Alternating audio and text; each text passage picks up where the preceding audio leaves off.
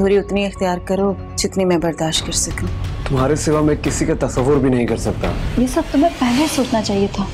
जब तुम खालिद भाई की लगाई हुई बदगुमानी की आग में हमारे रिश्ते को जला रहे थे। और शायद यही उम्मीद मुझे ज़िंदा रखे हुए है। और किस्मत ने हमें मिला दिया कि आज हम एक दूसरे के साथ हैं। तलाक के कागज़।